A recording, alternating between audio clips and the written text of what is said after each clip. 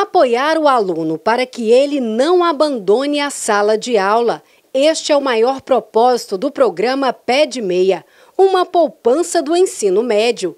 A divulgação do programa federal em Goiás aconteceu na Assembleia Legislativa nesta terça-feira e contou com a presença do ministro da Educação, Camilo Santana, do governador Ronaldo Caiado, do presidente da Alego, Bruno Peixoto, entre outras autoridades federais, estaduais e municipais.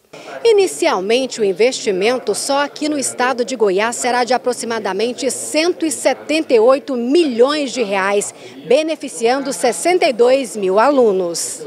O papel do MEC é apenas de apoiar, coordenar, apoiar, induzir e todos os municípios de Goiás a, a, a aderir ao programa, o estado de Goiás aderir ao programa, portanto o governo federal está apoiando os estados brasileiros nessa política de alfabetização na idade certa, tanto do ponto de vista financeiro como técnico aos municípios e estados de todo o Brasil. Hoje eu tenho a honra enorme de poder receber o ministro para apresentar para o Brasil um projeto que, modéstia à parte, nós há três anos já implantamos ele em Goiás, ou seja, a Bolsa Estudo. O Bolsa Estudo é um programa que nós instituímos numa iniciativa feita pela nossa secretária Fátima Gavioli, dentro de um estudo nosso da evasão escolar que havia principalmente no ensino médio. E aí nós estipulamos que todos os alunos matriculados no ensino médio receberiam a Bolsa Estudo. E os deputados e deputadas estaduais, independentemente de base e oposição, apoiamos o governo na educação e nós aprovamos o Bolsa Estudo. Os nossos alunos hoje recebem o cartão, já tem três anos, de R$ 111,92.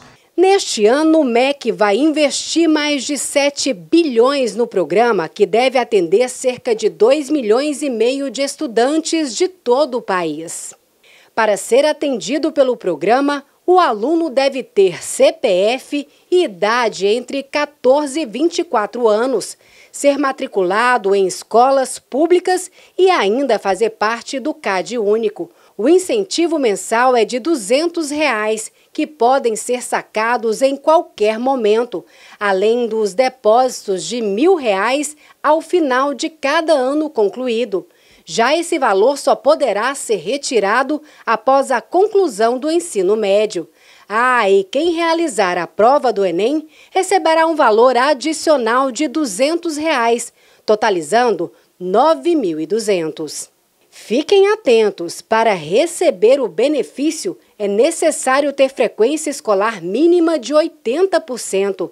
A primeira parcela da poupança do ensino médio tem início neste 26 de março. Esse benefício assegura a nossa continuidade é, nos estudos e a partir desse benefício é, nos traz mais dignidade e incentivo para terminar o estudo, aqui agora o ensino médio, depois ampliar para o ensino superior e assim fazer, transformar esse país que o princípio é a partir da educação.